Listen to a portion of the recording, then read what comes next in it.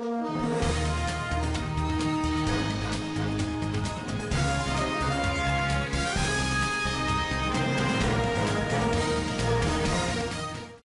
to the ZANU PF regime, Sengezo Tshabangu, a rebel CCC who poses as the party's Secretary General, has the authority to remove the elected representatives of the opposition.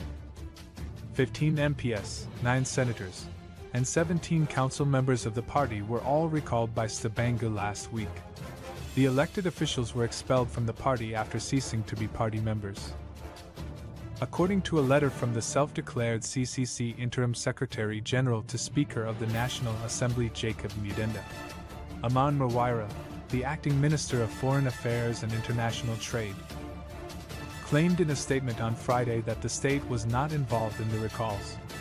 He stated, In light of recent recalls of lawmakers from a particular political party, the government pays attention to statements made by some political organizations in accordance with our laws. The allegations and plain lies intended to involve the government and the dominant ZANU PF party in the recall procedures are without foundation. For the sake of clarity and the benefit of those unfamiliar with Zimbabwean law, it should be noted that, according to Section 129.1k of the Zimbabwean Constitution, it is the political party to which the affected member belongs, and not the government that may recall a member of parliament by sending a written notice to the Speaker of the National Assembly or the President of the Senate. In light of this, it is wrong and outright dishonest for any political formation that has been negatively impacted by recalls to place the blame on the other. Simply said, no other party has such a mandate, or standing over the other in recall issues. After such a communication has been made available to them, either official is able to initiate modify, or block it.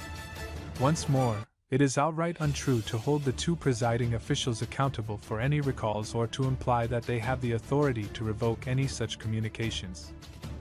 A reversal can only be brought about by the communications creators.